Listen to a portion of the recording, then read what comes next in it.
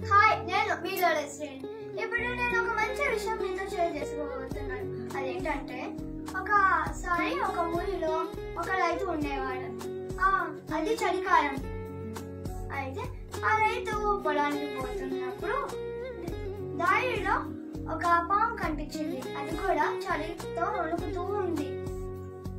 అయితే ఆ రైతు అనుకున్నాడు అయ్యో ఈ పాము ఏంటి?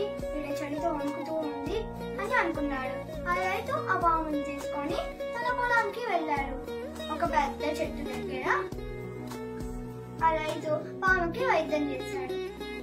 అప్పుడు ఆ పాము కోలుకుంది. ఆ పాము జాలి దయ అనేది లేకుండా పాము ఆ రైతుని కాటు వేసింది. అప్పుడు ఆ రైతు పెద్దగా అరిచాడు. అప్పుడు ఆ రైతులో ఆ రైతు అరిచినప్పుడు ఆ చుట్టుపక్కల ఉండే రైతులు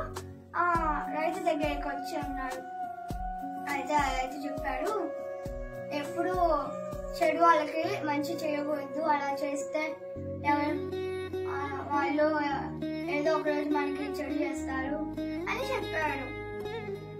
సో ఫ్రెండ్స్ ఇప్పుడు మనము ఈ స్టోరీలో ఏం తెలుసుకున్నామంటే మనము మంచి వాళ్ళకి మంచి చేయొచ్చు. కానీ దుష్టులకి ఎప్పుడు మంచి